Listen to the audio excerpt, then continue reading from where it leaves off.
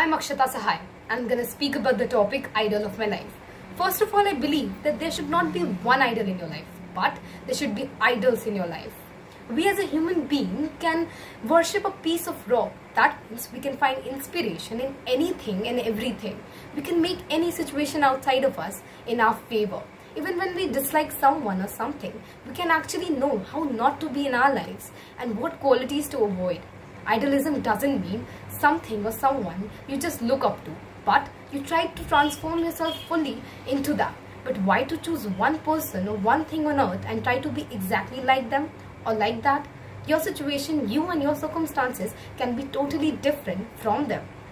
But there are few fundamental things which you can totally idolize no matter what the outside situation is. And personally what I believe and want in my life. And that is to create happiness, pleasantness, pleasantness and blissfulness within myself no matter what the outside situation is. And same to create outside situation beautifully well for everybody around me to give up stress, anger, anxiety, fear, and every negative emotions behavior from myself on a daily basis and to make myself a better human being and to move towards wisdom.